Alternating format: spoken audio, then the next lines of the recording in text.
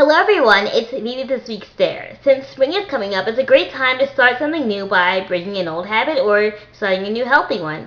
So you can comment below or tweet us with the hashtag TBYT Dare of the Week to tell us what you do this week. And Elle and I will also be telling you guys what we do. I hope you all have a wonderful week. Bye!